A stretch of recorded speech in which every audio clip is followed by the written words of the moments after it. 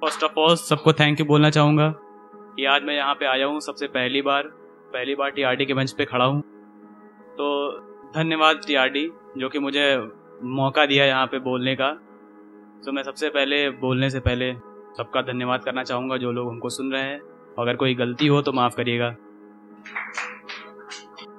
तो सबसे पहले हम शुरू करते हैं अपने बचपन से। तो बचपन जो हमको मिला वो हमारी माँ की वजह से मिला। तो माँ के लिए सबसे पहले एक जोरदार तालियाँ होनी चाहिए। कि घर में घुसते ही सबसे पहला गोल्डन वर्ड कि घर में घुसते ही सबसे पहला गोल्डन वर्ड वो हर एक बच्चे और हर एक बेटी के मुँह से निकलता है कि माँ तुम कहाँ हो? कि माँ तुम कहाँ हो? तो माँ के लिए एक लाइन बोलना चाहूँगा कि मंजिलें बहुत ऊँची चढ़ा मैं, मंजिलें बहुत ऊँची चढ़ा मैं, मगर कुछ हाथ ना आया, मंजिलें बहुत ऊँची चढ़ा मैं मगर कुछ हाथ ना आया, माँ ने प्यार से उठाया, तब जाकर आसमान आया है। मंजिल हो गई माँ हो गई हमारा बचपन हो गया। बचपन की शुरुआत जब करते हैं हम लोग तो बचपन की कुछ लाइनें हैं तो उसको मैं सुनाना चाहूँगा, जो कि मैंने खुद लिखी हैं। तो खबर ना थी सुबह की, ना शाम का ठिकाना था। खबर ना थी सुबह की ना शाम का ठिकाना था चाहत चाँद को पाने की थी, पर दिल तितली का दीवाना था।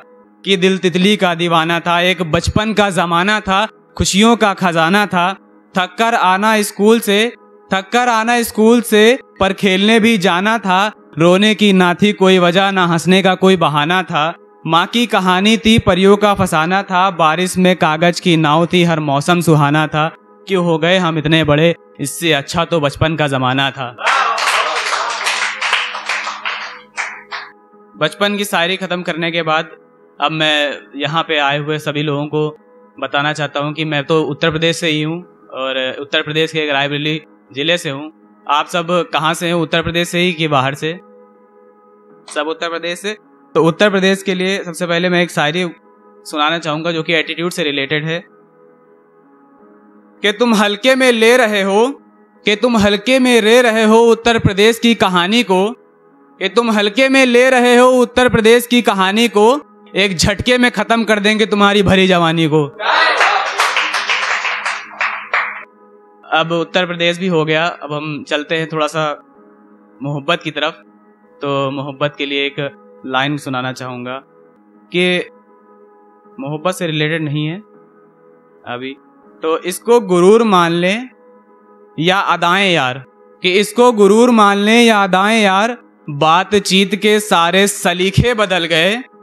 ये बातचीत के सारे सलीखे बदल गए और उन्होंने और उनको जिस दिन से बताया था कि सबसे खास हो तुम, और उनको जिस दिन से बताया था कि सबसे खास हो तुम, यार उस दिन से उनके सारे तौर तरीके बदल गए। उस दिन से उनके सारे तौर तरीके बदल गए। कि गिराया था जिन्होंने, गिराया था जिन्होंने, वो आज उठाने को मजबूर हैं। कि ठुकराया था जिन्होंने आज वो अपनाने को मजबूर हैं। और दूसरी शायरी मैं अपने देश के लिए भी सुनाना चाहूँगा, क्योंकि हमारा देश, हमारी जान है, और देश पे मर मिटने के लिए हर एक नौजवान तैयार है। तो भारत माता की मोहब्बत में, भारत माता की मोहब्बत में खुद को कुर्बान कर बैठेंगे, मरेंगे अपने वतन की मिट्टी के लिए, चाहे मौत से शर्त लगा बैठेंगे, चाहे मौत से शर्त लगा बैठेंगे। और दूसरी लाइन में सुनाना चाहूँगा। हमारे एक भाई हैं, दिव्यांश भाई। तो उनको मैं डेडिकेट करना चाहता हूँ। ये लाइन उन्होंने लिख के मुझे कल रात में ही मैसेज किया था कि अगर तुम कल जा रहे हो तो बेस्ट ऑफ़ लक और जा जाकर के लाइन सुनाना ज़रूर। मैंने कहा, ठीक है भैया, अब जाऊँगा तो सुनाऊँगा ज़रूर। कि मैं सुनाना चाहूँगा। हर पल, हर लम्हा खुद को मारा करते हैं। हर पल, हर लम्हा खुद को मारा करते हैं, जब तुमको याद दोबारा करते हैं। हम आशिक हैं, हमें जीने की फुर्सत कहाँ?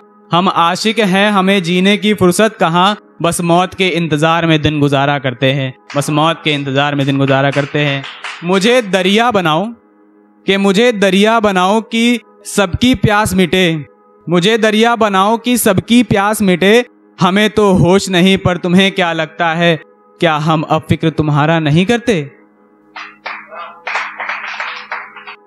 ये एक अभी नौजवान जो लड़के आ रहे हैं धीरे धीरे बड़े हो रहे हैं तो उनके ऊपर एक फनी शायरी थी तो जो कि सिद्धू सर की याद में थी, कि आजकल के लड़के कहते हैं कि सरकार ता साडी अपनी है, सालों कम से कम वोटर आईडी कार्ड तो पहले बनवा लेते।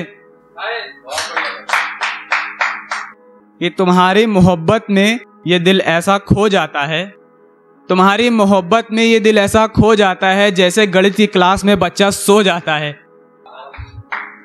थैंक यू सबको। जय हिंद।